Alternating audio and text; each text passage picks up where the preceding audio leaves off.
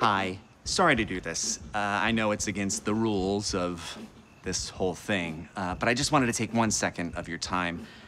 My name's Logan Clark, and I made a movie that I am so proud of, and I really think you'd like it, and I would love to share it with you.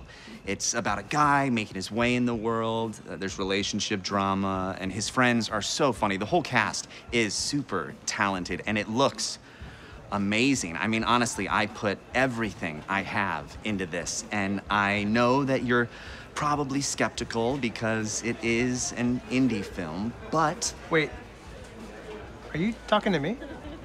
yeah. Sorry, uh, I'm better at directing than pitching. Uh, should I should start over? Start over? Uh, no, no, you're good. Um, why don't you tell me what those are? Oh, these are uh, panko crusted crab cakes with a roasted pepper chive aioli.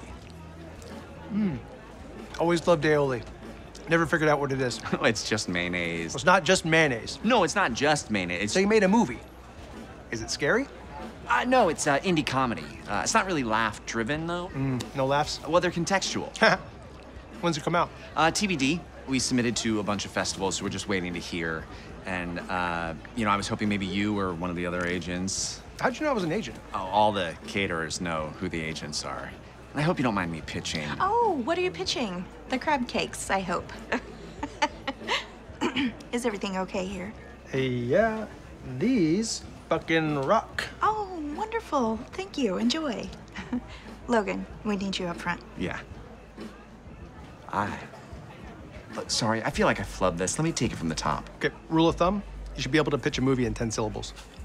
Oh, okay. Uh, a relationship with this guy who. No, it's too long. Try this. Woman gets trapped on a treadmill.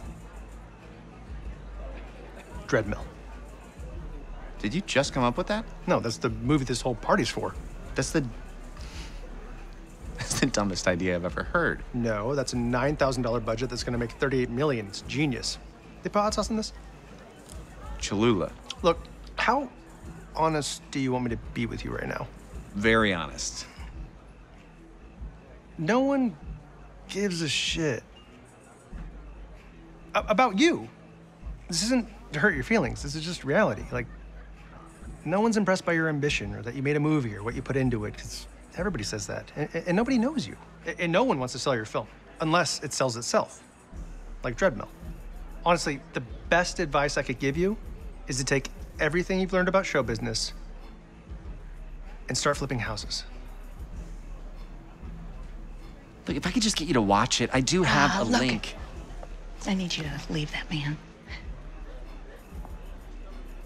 Look, if it gets into a reputable festival and wins, hit me up and I'll try to get my boss to watch it. Sucks on this side too, man.